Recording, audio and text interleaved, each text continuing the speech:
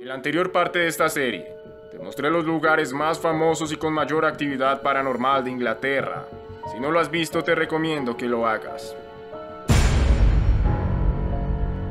Pues ahora el turno le pertenece a un país muy rico en cultura paranormal. Si quieres conocer los 5 lugares embrujados más importantes de México, quédate.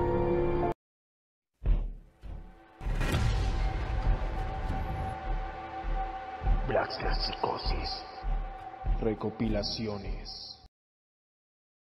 En el 2015 tuve el honor de viajar a México y debo decirles que quedé gratamente sorprendido de la abundante riqueza cultural en cuanto a sus creencias que se conserva en cada una de sus calles, tanto que pareciese que siempre se tiene relacionado al más allá en todos los aspectos de su historia.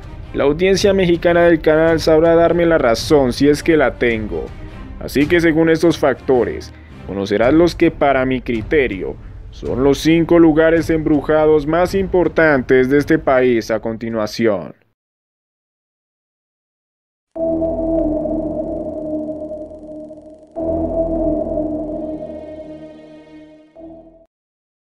Este es uno de los lugares más reconocidos de México en temas sobrenaturales, por todo lo que ocurrió y aún ocurre en su interior.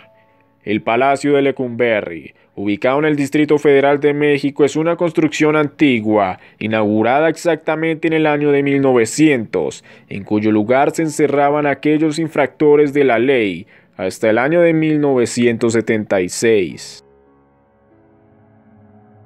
Esta prisión capitalina no solo abrió sus puertas a los criminales en pleno inicio del siglo XX, sino que también le dio luz verde a las innumerables atrocidades que allí se cometían. Inicialmente Lecumberri estaba diseñado para albergar a 740 presos, pero alcanzó a tener incluso 5.000. El aislamiento era terrible. Más o menos te estoy hablando de 15 personas por celda, celda de 3 metros cuadrados. Los reos eran clasificados según el delito, y aquí un dato curioso. A los homosexuales se les asignaba la letra J. Para los que no lo sabían, en México se le dice de forma despectiva Joto a los hombres afeminados u homosexuales. De aquí surgió todo ello. Pero no me desviaré del tema central. Lo que hizo de este lugar un infierno no solo era dado a las malas condiciones de reclusión. Allí desaparecían personas, se torturaba vilmente, se asesinaba y se humillaba a los reclusos como si sus vidas no significaran nada en este mundo, más que simple basura a la que nadie le importaba. Todo lo que aconteció aquí le hizo ganarle el apodo del Palacio Negro, y aunque desde 1982 hasta la fecha, este lugar fue convertido para el Archivo General de la Nación, como es de intuir, se dice que muchas almas en pena siguieron encerradas en este lugar pagando su condena, y han surgido varias leyendas urbanas como la del charro negro, que supuestamente aparece en el auditorio del palacio, acompañando el ambiente lúgubre que se percibe en el ambiente.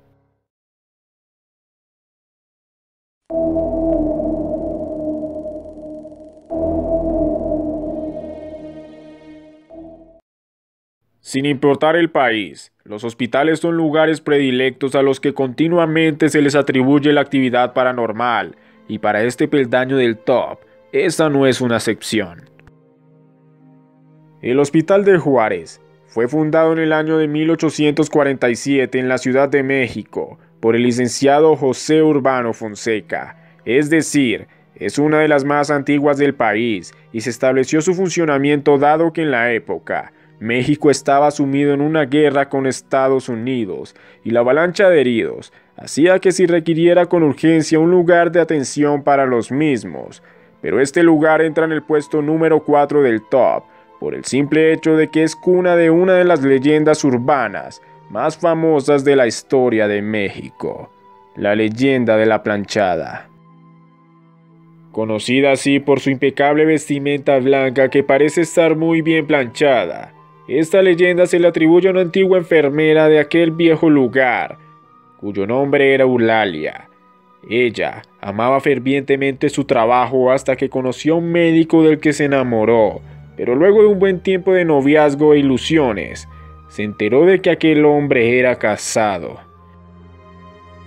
Fue entonces que aquella triste verdad llevó a Eulalia a una depresión que la acompañó hasta el fin de sus días. Algunas versiones indican que se suicidó, otras dicen que el trauma hizo que enfermase hasta morir. Lo cierto es que a partir de entonces, ya sea pacientes, ya sea enfermeros o simples visitantes, aseguran haber visto el fantasma de una enfermera con las mismas características de Eulalia, que vela por la salud de los enfermos haciendo que tomen sus medicinas, sin ser conscientes de que aquella mujer que cuidó de ellos en realidad no existe.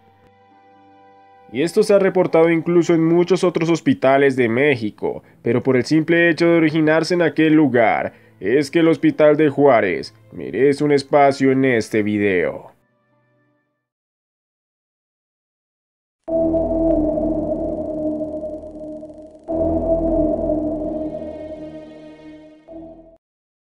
No en todas las casas se comete una masacre, pero por lo general se dice que cuando sucede esto, el lugar que sirvió como último aliento de las personas allí fallecidas, termina convirtiéndose en un sitio embrujado. No obstante, hay varios de estos lugares en que los espíritus te lo hacen notar descaradamente, y este es el caso de la casa de la tía Toña. Ubicada en la Ciudad de México en el bosque de Chapultepec, que es el parque urbano más grande de Latinoamérica, este inmueble es considerado uno de los lugares más embrujados de ese país. Se dice que esta casa fue el hogar de una anciana viuda, conocida por todos como la tía Toña. Esta mujer vivía sola, no tenía nadie, y esto la hizo considerar la idea de acoger y cobijar a los niños de la calle para brindarles alimento, cuidado y amor. Un acto bondadoso a cambio de un poco de compañía. Eventualmente, este lugar se hizo famoso entre los vecinos de la localidad, luego de convertirse en el techo de muchos niños que se sentían bendecidos con tanta generosidad de la señora. Pero pronto, todo daría un oscuro e impactante giro. Había un problema con el que lidiaba la tía Toña. Los jovenzuelos carecían de buenos modales y la conducta de estos no mejoraba con el pasar de los días. Muy por el contrario, parecía empeorar hasta tal punto de ser tan fastidiosos e ingratos que colmaron la paciencia de la anciana quien perdió el control, y su longevidad no le fue impedimento para asesinarlos uno por uno.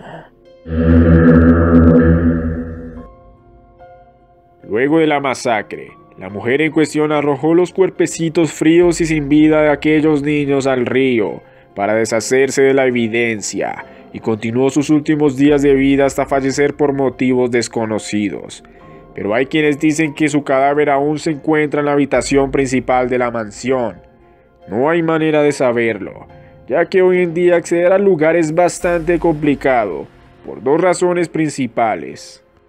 La primera de ellas es porque las condiciones de la locación son muy difíciles. Es boscosa, está llena de barrancos, hay muy poca iluminación que se dificulta aún más por la espesa neblina que prevalece allí, y porque el único acceso a la morada es cruzando un viejo puente arruinado que incluso ha llegado a cobrar la vida de varias personas. La segunda razón es porque según el testimonio de los visitantes, la tía Toña odia que te le acerques y te hará la vida imposible atormentándote hasta sacarte corriendo de su casa, supuestamente, porque su espíritu continúa en el interior e incluso se le puede ver a lo lejos, asomándose a través de las viejas ventanas. ¿Aún tienes ganas de entrar?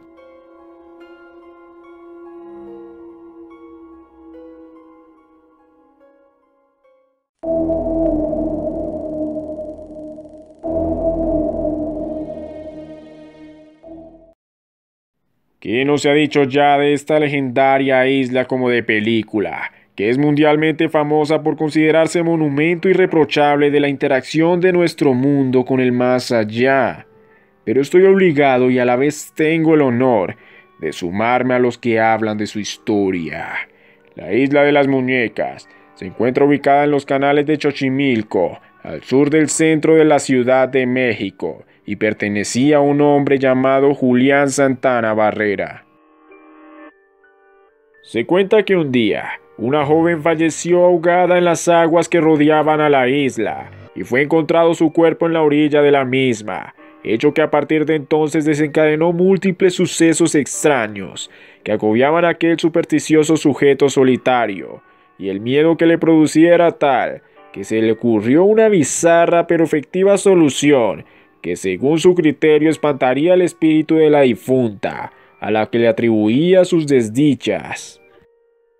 Este consistía en ubicar alrededor de toda la isla muñecas de todo tipo para protegerse de los eventos paranormales que lo perseguían, y año tras año hasta su posterior muerte en el 2001, que curiosamente sucedió en el mismo lugar donde falleció la joven, tal y como lo había predicho.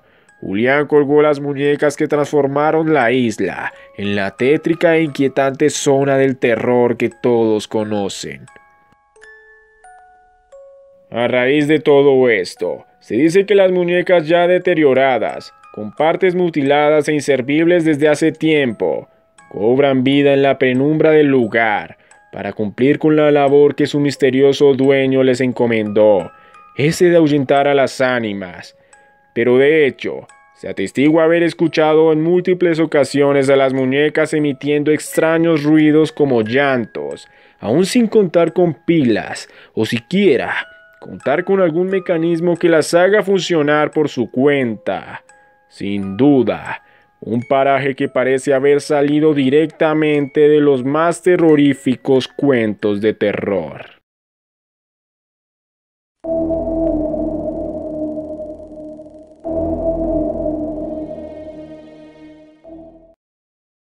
Para mi concepto, Únicamente un solo lugar es capaz de ganarle el pulso de este video a la isla de las muñecas, y ese lugar solamente podría ser la zona del silencio.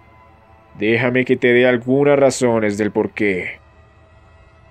La zona del silencio es un área muy extensa que se localiza en la parte central del bolsón de Mapimí, entre los estados de Chihuahua, Coahuila y Durango al centro norte de México.